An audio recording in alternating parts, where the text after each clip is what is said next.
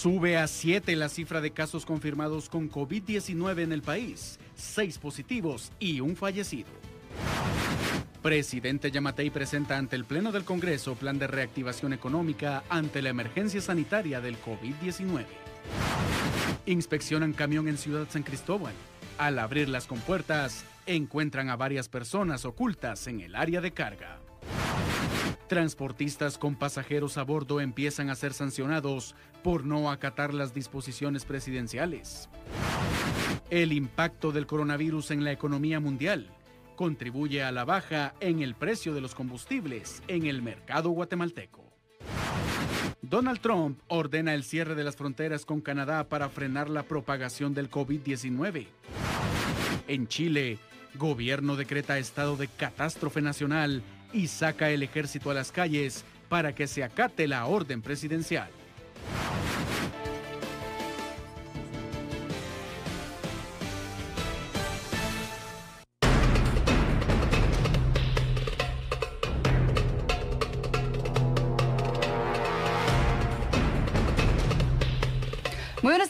Todos ustedes. Sean bienvenidos a esta su segunda emisión de Noticiete. Por supuesto, iniciamos con el tema el COVID-19. Esta mañana el presidente de la República le presentó al Congreso su propuesta para solventar la emergencia sanitaria y no caer en un bache económico nacional. Escuchamos. Hoy a las 4 de la mañana recibimos la mala noticia del séptimo contagiado entre una de las más de 200 personas que tenemos en cuarentena. Seguimos conteniéndolo. Hemos visto las experiencias de los otros países y hemos trabajado para evitar que se repitan aquí en el país los errores que se han cometido. Por eso es que decidimos tomar medidas, medidas de prevención y luego medidas de contención para que lográramos salvaguardar la vida de los guatemaltecos en cumplimiento de lo que la tarea de constitución nos demanda, el gobierno de la República ha diseñado un programa nacional de emergencia y recuperación económica en una primera etapa. Este plan es un plan sencillo. Tiene como objetivos principales, primero, preservar la confianza económica para favorecer el empleo mediante el incentivo a la inversión. Actualmente, el índice de confianza en la actividad económica es el más alto en los últimos 10 años. Mantener la, estabilidad macroeconómica y financiera es el segundo objetivo. Propiciar que la economía del país se recupere en el corto plazo, lo que requiere asegurar el financiamiento necesario para atender la emergencia, es el tercero de sus objetivos. El cuarto, asegurar los mecanismos de implementación del programa a través de la legislación, políticas y adecuaciones presupuestarias. Y por último, concretar acciones sociales en beneficio de la población guatemalteca, lo cual es de vital importancia. Por eso es urgente plantear un paquete de acciones contenidas dentro de este programa que buscan atenuar el efecto mencionado y que harían, si las implementamos, que tengamos un crecimiento económico del 3.1%, es decir, a duras penas el impacto en nuestra economía podría ser de medio punto porcentual. Lo que esto refleja es la importancia de implementarlo lo más pronto posible. Para alcanzar estos objetivos se han establecido las acciones siguientes. Vamos a aplicar una política fiscal que incremente el gasto público, especialmente en la inversión, para brindar el apoyo directo a la recuperación de la actividad económica y la generación del empleo. Hemos determinado que el Ejecutivo tiene que hacer el esfuerzo de bajar entre un 20 y un 25% los gastos de funcionamiento para trasladarlos a inversión. El gasto de esta inversión tiene que estar orientado principalmente a la construcción y ampliación de nuestra infraestructura estratégica, es decir, puertos, aeropuertos, nuestro tren y lograr hacer que efectivamente esos proyectos viales que tanto se han necesitado y no lo hemos desarrollado, los podamos hacer. Vamos a agilizar la implementación de transferencias monetarias temporales por alrededor de 350 millones de quetzales para apoyar a 160 mil familias que en este momento son, están de las más vulnerables en medio de la pobreza y la extrema pobreza, con especial énfasis en los adultos mayores y los niños en desnutrición.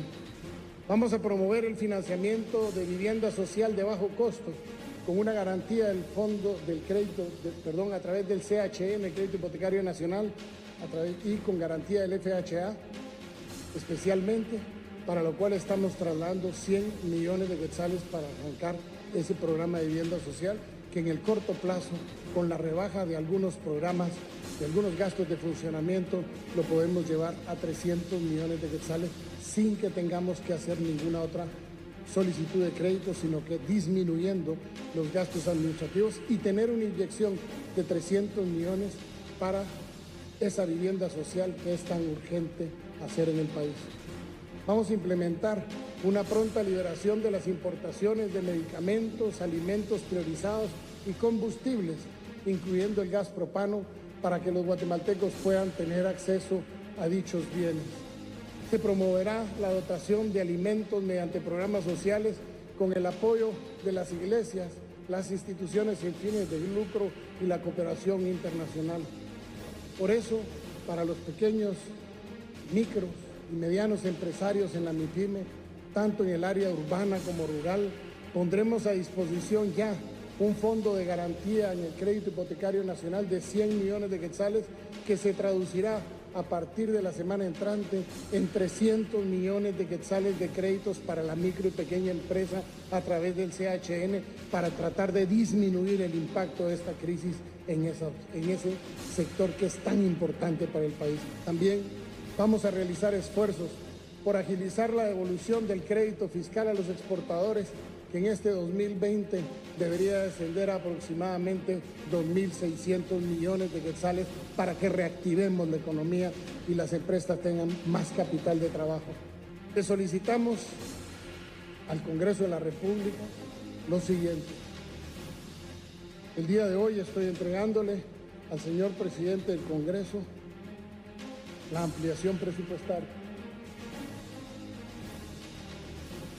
una ampliación presupuestaria de 7 mil millones de quetzales, la cual va a brindar apoyo directo a la recuperación de la actividad económica.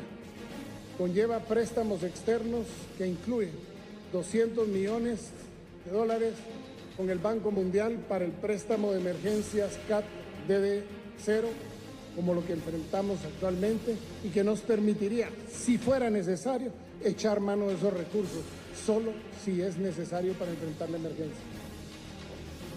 193 millones de dólares con fondos del BCIE para la construcción de siete hospitales y el remozamiento de muchos centros y puestos de salud. Reformas a la ley de bancos y grupos financieros contenidos en la iniciativa 5157 que ya pasó la segunda lectura en la anterior legislatura y que nos traería estabilidad en el sistema financiero de manera que no pueda producirse un efecto dominó jamás en el país. Despedimos también al Congreso un decreto temporal para diferir porcentualmente el pago del impuesto de solidaridad ISO por un trimestre, según el momento que sea aprobado, de manera tal que las empresas puedan seguir dándole trabajo a sus trabajadores, enfrentando la emergencia y poder ampliar sus operaciones. Yo vengo aquí a pedirles a ustedes acciones que nos ayuden y que contribuyan a llevar esa estabilidad en el país. Acciones tan precisas como por ejemplo la iniciativa que sea aprobada de carácter de urgencia nacional, la exoneración de impuestos a las donaciones que sean canalizadas a la Conred dentro de este estado de calamidad pública. Porque no sería justo que nos donen y encima de todo nos tengan que pagar impuestos. Hoy, frente a ustedes, delante de todo el país, presento este plan que no va a generar soluciones milagrosas, pero que sí nos va a ayudar a seguir en pie. Nos va a ayudar a que sigamos construyendo esa Guatemala diferente que todos amamos y que tenemos hoy unidos la posibilidad de construir. Hoy este plan nos permitirá seguir cuidando a nuestras familias. Nadie, absolutamente nadie, cree que será fácil enfrentar esta situación, pero yo sé que juntos podemos lograrlo. Juntos podemos pasar esta pesadilla yo sé que juntos podemos resistir y salir avante. Lo hemos hecho muchas veces. Hoy, con toda la humildad de ser el primer servidor de la nación, les vengo a pedir a ustedes el apoyo para que juntos construyamos esa Guatemala diferente desde los cimientos, haciendo que el país resurja y resurja como el ave fénix hacia lograr levantarse. Tenemos lo que siempre hemos querido, con un nombre de una Guatemala. Que. Coronavirus COVID-19. ¿Quiénes están en riesgo de enfermarse gravemente? Adultos mayores de 60 años, personas con enfermedades preexistentes como diabetes o algún padecimiento del corazón. ¿Cómo se transmite? Por contacto cercano con una persona infectada, mediante personas infectadas al toser o estornudar, al tocar objetos o superficies contaminadas y luego tocarse la boca, la nariz o los ojos. Estamos de regreso en Noticiete, gracias por acompañarnos. Los ministros de Estado se reunieron esta mañana en el Parque de la Industria para conocer los avances en la medida de contención del COVID-19. Nuestra compañera Mabel Saucedo nos tiene la información. Adelante, Mabel. Gracias compañeros y televidentes. Y es que nos encontramos en el Parque de la Industria, el lugar que está destinado para atender alrededor de 3.000 personas que fueran contagiadas con COVID-19 si esto fuera necesario. En ese caso, pues hay una reunión en desarrollo para también continuar afinando detalles. El eh, Ministerio de la Defensa se ha involucrado en este tema. Se está llevando a cabo una reunión de muy alto nivel donde se están ultimando los detalles para la preparación de esta área eh, como un hospital. Eh, podemos ver las coordinaciones de los diferentes actores se ha ido pues a un tiempo récord, digamos, eh, preparando esas instalaciones. Anoche, durante toda la noche, miembros del Cuerpo de Ingenieros del Ejército estuvieron pintando todas las áreas con una pintura que fue pues donada para este fin y eh, se están llevando a cabo todos los arreglos necesarios. A mis espaldas ustedes pueden observar el, del lugar donde va a estar ubicadas eh, el encamamiento de las personas que tengan necesidad de hacer uso de este, tomando en cuenta de que hay protocolos médicos que se van a tomar en cuenta. Inicialmente un puesto, digamos, una sección de observación donde las personas que pudieran estar eh, con síntomas estuvieran eh, en el lugar. También se va a preparar otras áreas ya que van a ir avanzando, digamos, dependiendo de la gravedad o si se confirma que la persona pues sí está positiva en alguno de los exámenes que se realicen. Para llevar a cabo todo eso se necesita una logística y, en el otro lado, el otro extremo del parque, pues podemos observar el lugar donde se va a habilitar una bodega para que todos los insumos y todo lo necesario pues, pueda estar de una manera resguardado y cercana de, fácil acceso. Al lado derecho pues se estarán preparando también los lugares donde estará la alimentación del personal que esté trabajando en turnos por acá. Habrán todos los servicios necesarios y esperamos de que estamos preparados, pero esperamos de que no sea necesario utilizarlo. Sin embargo, en el momento de que hubiese alguna necesidad, eh, pues ya estamos en, todo el... Es una coordinación que se está llevando a cabo interinstitucional. Sin embargo, pues eh, estamos, nos sentimos orgullosos de ver cómo el Cuerpo de Ingenieros del Ejército, con sus capacidades diferenciadas, ha estado apoyando eh, estos soldados especiales que están llevando a cabo la preparación de este lugar. El Parque de la Industria será uno de los lugares a donde se lleven las personas y al Hospital de Villanueva para con ello evitar que eh, estos pacientes se mantengan, por ejemplo, en el Hospital Roosevelt o en el Hospital General San Juan de Dios y con ello pues también prevenir a los otros pacientes que también son atendidos en estos centros asistenciales. Así que con esta información, con imágenes de Vilar Martínez, retornamos con ustedes al estudio central. Muchas gracias por esta información. Y la caída de los precios del petróleo por la poca utilización de la gasolina, por las cuarentenas, ha provocado la baja en el precio de los combustibles, incluyendo, naturalmente, a Guatemala. Es Ligia Toledo quien nos tiene más detalles al respecto. Adelante, Ligia. Las autoridades del Ministerio de Energía y Minas y también de la Dirección de Atención al Consumidor, la DIACO precisamente, continúan con el monitoreo constante para verificar que no se estén incrementando los precios de la gasolina, específicamente porque en el ámbito internacional están disminuyendo. La baja de la gasolina sí se ha dado. Por ejemplo, Según el Ministerio de Energía y Minas, la gasolina superior en la modalidad autoservicio debiera estar a 21 quetzales con 96 centavos. Esto a partir del 16 de marzo y en las gasolineras está a 22 quetzales con 39 centavos. La regular a 20 con 96 y en las gasolineras está a 21 quetzales con 39 centavos y el diésel a 16 quetzales con 90 centavos y en las gasolineras está a 16 con 59. Hay que recordar que los precios varían por centavos dependiendo de la localidad de la gasolinera, porque hay algunas que funcionan con crédito y demás, según lo que nos explicaban autoridades de la DIACO, y es por ello que tienen incremento, un leve incremento realmente de la gasolina. Pero lo que se puede observar en el registro del Ministerio de Energía y Minas de la Dirección de Hidrocarburos es que de una semana a otra ha bajado prácticamente un quetzal, y es por ello que se prevé que ahora por que las personas están resguardadas en sus hogares, se este, disminuya la carga de gasolina. Pero es importante hacer mención que si usted puede aprovechar cargar de gasolina su vehículo, su motocicleta o demás, lo realice porque lo que han mencionado las autoridades es que se prevé que no habrá desabastecimiento. Muchísimas gracias. Y para evitar aglomeraciones y contagios, la Municipalidad de Misco ha decidido cerrar el parque de ese municipio. Alfredo Mendoza ha dado cobertura. Adelante, Alfredo.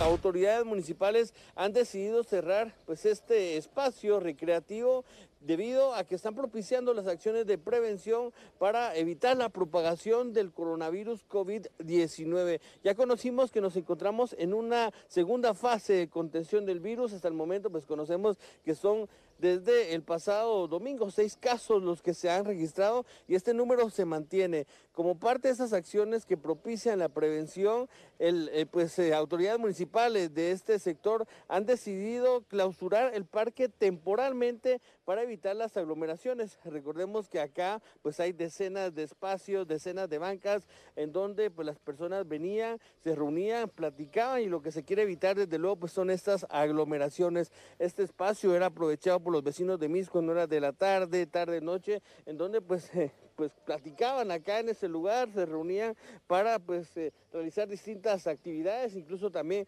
podemos observar un espacio recreativo que era utilizado por un grupo numeroso de niños. Este espacio también pues quedará clausurado temporalmente en lo que dura este tipo de acciones de prevención. Algunas personas lamentan esa situación porque era un lugar en donde pues prácticamente pasaban el tiempo, sin embargo ya lo han indicado las autoridades, son acciones de prevención y lo recomendable es que usted no salga de su vivienda, no salga de su casa y permanezca pues junto a su familia. Asimismo también este tipo de acciones se han pues propiciado no solo acá en Misco, sino en varios municipios del país en donde prácticamente se están cerrando de manera temporal las áreas recreativas para evitar pues el contagio de las personas y para evitar sobre todo este tipo de aglomeraciones. Recordemos pues también que las autoridades han manifestado que lo principal es que usted mantenga pues eh, la higiene, la higiene personal, estos hábitos de limpieza para evitar también este, este tipo de situaciones y evitar también la propagación del virus.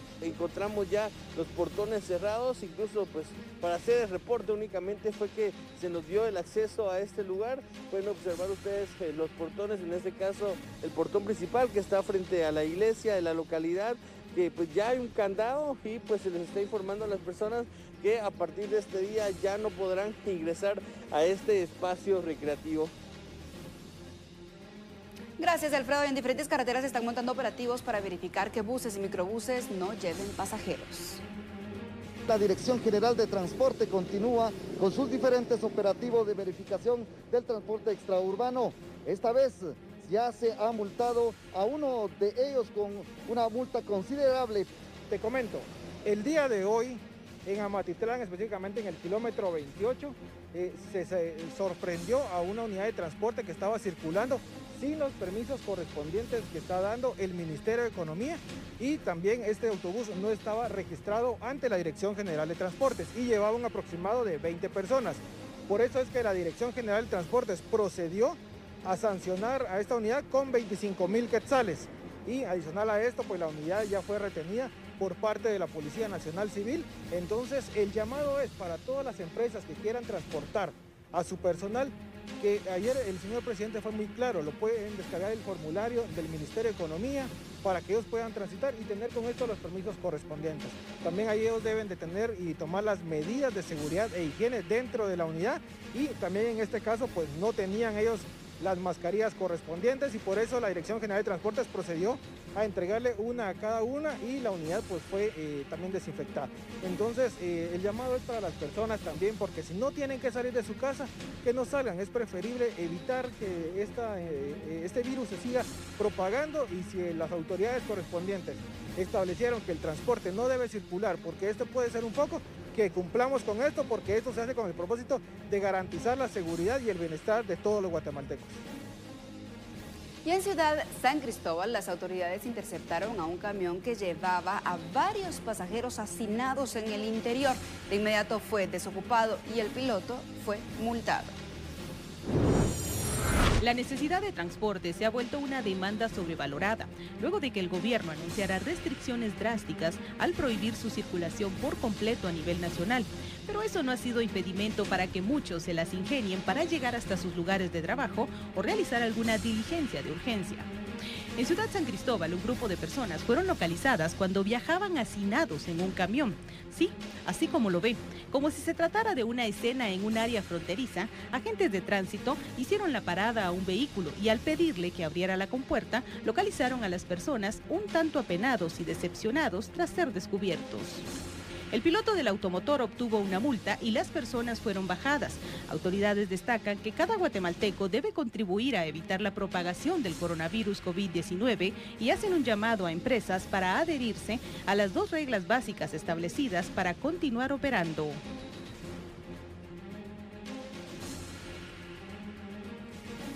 Y más información en los centros de detención para menores, la Secretaría de Bienestar Social de la Presidencia realiza un programa de prevención. Y es Mabel Saucedo con los detalles. Adelante, Mabel.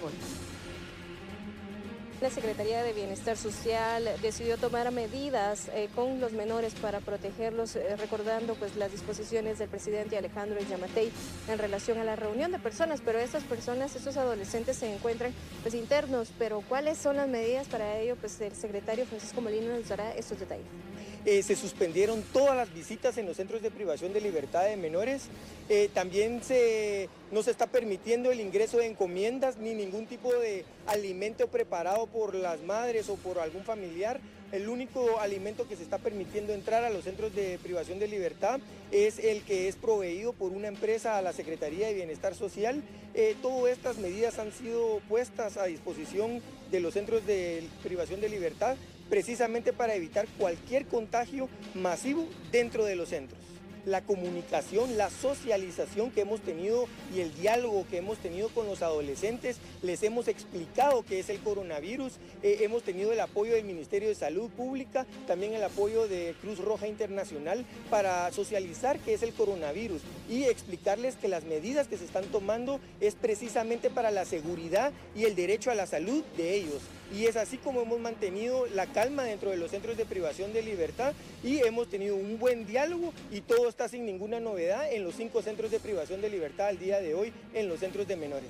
Hemos habilitado diferentes espacios para lavarse las manos con agua y con jabón. Eh, constantemente los monitores y los equipos profesionales de médicos están tomándoles la temperatura a los adolescentes y a las adolescentes y al primera vez eh, poder detectar algún indicio de la enfermedad, son inmediatamente aislados eh, y son puestos a disposición de las autoridades competentes, en este caso el Ministerio de Salud Pública, para poder evaluar si llega a ser el coronavirus o no y de esta, de esta manera eh, poder contener el virus y contenerlo a que no ingrese a los centros de privación de libertad de menores. Al momento no tenemos ningún indicio de ningún síntoma del coronavirus dentro de los centros de privación de libertad de menores Coronavirus COVID-19. Evita el contacto cercano con personas que tengan síntomas de gripe. Evita tocarte los ojos, la nariz y la boca con las manos sin lavar. Evita compartir artículos de uso personal. Limpia y desinfecta los objetos y las superficies que se tocan con frecuencia. Si has viajado a áreas donde circula el virus o has estado en contacto con alguien que presenta síntomas, Acude al servicio de salud más cercano.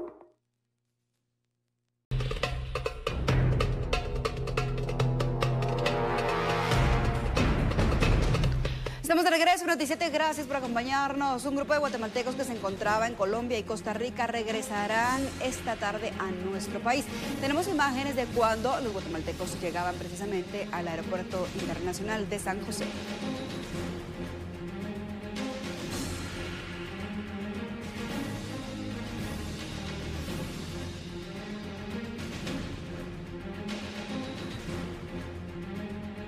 ¿Tiene audio?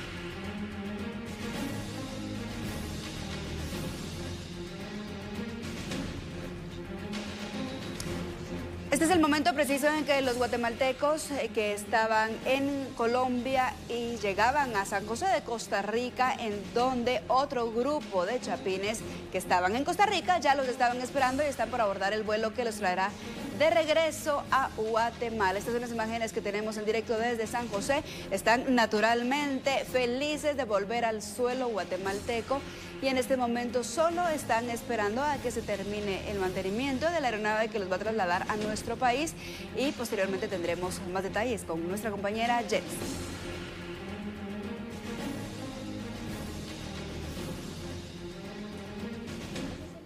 A la audiencia de Noticiete. Efectivamente nos encontramos ubicados en las afueras del Aeropuerto Internacional La Aurora, en donde se tiene programado que a eso de las 18.30 horas arribe un vuelo con 87 guatemaltecos que permanecían varados en Costa Rica desde el pasado martes. Es importante mencionar que algunos de ellos eh, se encontraban visitando ese país y otros provenientes de Bogotá, Colombia, han decidido unirse a este vuelo con el objetivo de regresar a Guatemala. También es eh, importante mencionar que según las autoridades de la Dirección General de Aeronáutica Civil, estos eh, guatemaltecos que eh, vengan en este vuelo deberán pasar por los protocolos ya establecidos por las autoridades de gobierno en la terminal aérea. En este caso se ha informado que las personas deberán pasar por la toma de temperatura y también por la entrevista que establece el protocolo todas serán enviadas a cuarentena a sus viviendas. Sin embargo, si alguna presenta algún síntoma o bien presenta más de 38 grados de temperatura, será enviado a cuarentena al hospital de Villanueva. En este caso, el vuelo ya se ha retrasado en dos ocasiones porque se tenía previsto que llegara a eso de la 1.30 de la tarde. Sin embargo, debido a los protocolos de seguridad que las autoridades correspondientes están eh, siguiendo, se ha retrasado en dos ocasiones. Les reiteramos, se tiene previsto que sea a eso de las 18.30 eh, horas que este vuelo arribe al Aeropuerto Internacional Aurora. Con este reporte regreso a Estudios Centrales. Coronavirus COVID-19 ¿Quiénes están en riesgo de enfermarse gravemente? Adultos mayores de 60 años, personas con enfermedades preexistentes como diabetes o algún padecimiento del corazón. ¿Cómo se transmite? Por contacto cercano con una persona infectada, mediante personas infectadas al toser o estornudar, al tocar objetos o superficies contaminadas y luego tocarse la boca, la nariz o los ojos. En el hospital de Totonicapán las visitas han sido restringidas, pero los familiares de los pacientes insisten en ingresar al centro. Al respecto, adelante, Leopoldo. Totonicapán, José Felipe Flores, en donde podemos eh, observar que a pesar de la disposición de suspender las visitas a este centro asistencial, hay todavía personas que se encuentran ubicadas acá, esperando pues que la situación cambie. Sin embargo, las autoridades han hecho una vez más el llamado y han indicado que se suspenden las visitas. Buenos días, necesito un momentito de su atención. Voy a leerles alguna información importante. A la población y público en general se le informa lo siguiente que como medida de prevención que obedece a la alerta roja institucional por el COVID-19 y estado de calamidad vigente en el país, decretado por el señor presidente de la República de Guatemala, a partir del día 16 de marzo del presente año, se suspenden los horarios de visita de 11 a 12 y de 14 a 15 horas hasta nuevo aviso. Se les ruega por favor su comprensión. Esta medida, señores, es tomada por el bienestar y la seguridad y la salud también de toda la población. Este es mi reporte desde Totonicapán, Leopoldo Valls. Coronavirus COVID-19. ¿Quiénes están en riesgo de enfermarse gravemente? Adultos mayores de 60 años, personas con enfermedades preexistentes como diabetes o algún padecimiento del corazón. ¿Cómo se transmite? Por contacto cercano con una persona infectada, mediante personas infectadas al toser o estornudar, al tocar objetos o superficies contaminadas y luego tocarse la boca, la nariz o los ojos.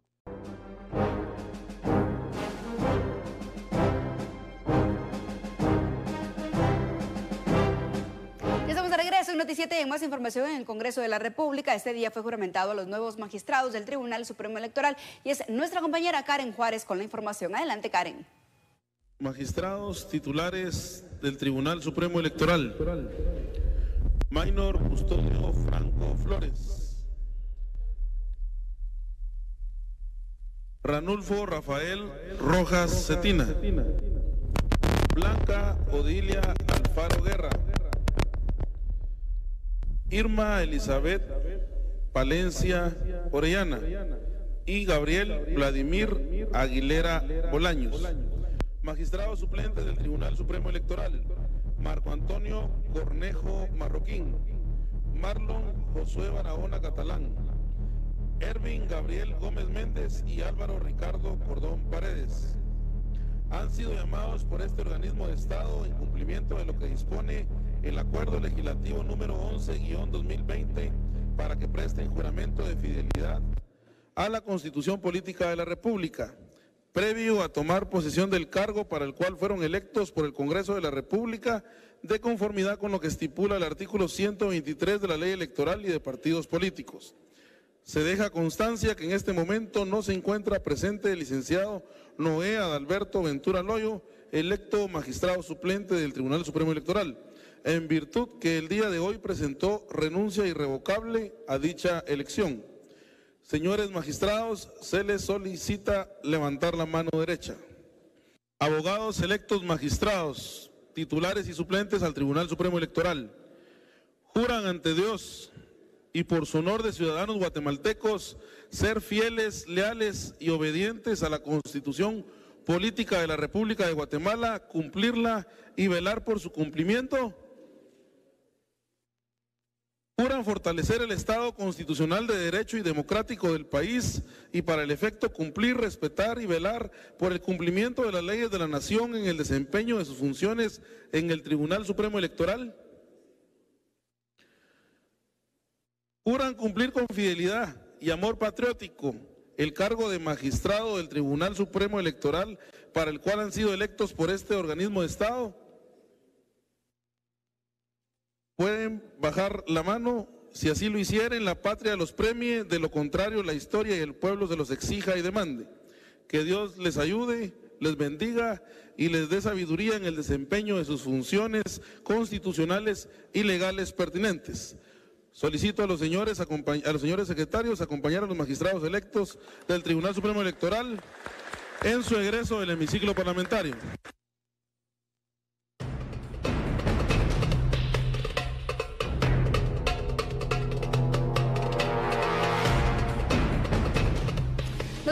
Trasladamos hasta Salolá con nuestro compañero Enrique Pablo de León, que nos tiene imágenes del municipio de Panajachel, en donde las personas han acatado las restricciones y se puede observar las playas, calles y avenidas desiertas. Adelante con el informe.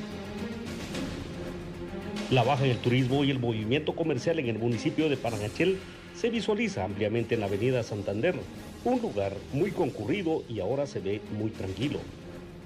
Las embarcaciones han mermado su transitar por las aguas del lago Atitlán, el hecho de no contar con movimiento comercial turístico en Panajachel repercute en dos municipios que dependen del turismo en la cuenca del lago Atitlán.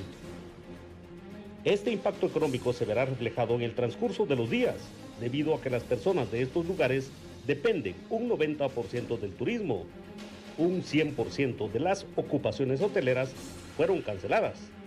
Algunos pequeños comercios intentan sobrellevar esta crisis. Desde el departamento de Sololá reporta Enrique Pablo de León. Gracias por brindarnos esta información y de esta manera nosotros nos despedimos de ustedes. Recuerden mantener la calma, informarse únicamente a través de medios oficiales. Nos encontramos mañana en punto de la una, por supuesto, por Noticiero.